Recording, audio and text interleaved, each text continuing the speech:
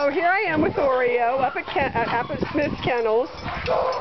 He's uh, just meeting me for the first time. And he doesn't really like me. I brought him a collar and a tag and creating all this excitement. I didn't put it on him, but he's got a new he's got a new red tag and a red collar. Hey. Really nice. He's much bigger than I thought, guys. He may only be 32 at the shoulder, but he's pretty damn tall. He's got long neck. He's thick. He's got big. He needs some groceries. You need some groceries. You're skinny. But uh, no, he's a good sized Dane for sure. You're a good sized Dane. He keeps going inside his, his indoor kennel. He has an indoor outdoor kennel here. You can see there's the opening. Nice size. And then right behind me are these big that he gets to go out in as well. Where he gets to run and play.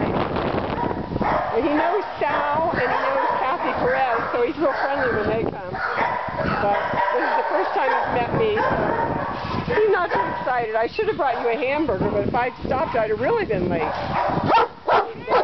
Here on Saturdays and been over at Pets R Us with um, Shaq, and then he stopped before I got there. So Yes, you're I'm right. late getting here. Yeah, you're okay. He's a pretty boy. Yes, He you're, is a pretty boy. you're okay. You are a pretty boy, Shaq. No, not Shaq. You're Oreo. You're Oreo. We're going to pick one eye, and when we do, some littles here, some pit bulls who are getting all excited. Those your kennel mate. His teeth are beautiful. He's definitely a young dog. Yeah.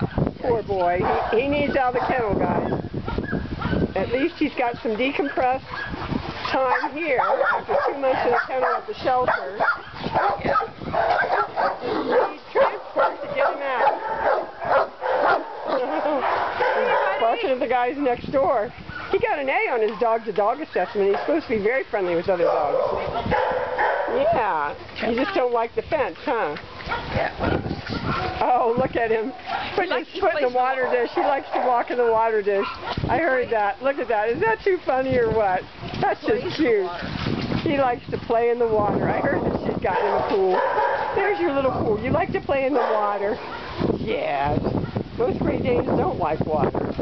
But ankle deep is okay. Ankle deep is okay. He, he likes ankle deep. Look at that. So cute. Getting out of the foot, getting all those feet in there.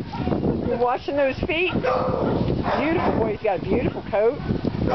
Yeah. Are you over your excited phase? Give me a little happy dog tail wag. I'm sorry I didn't come with a hamburger. I usually do. I know how to make friends with.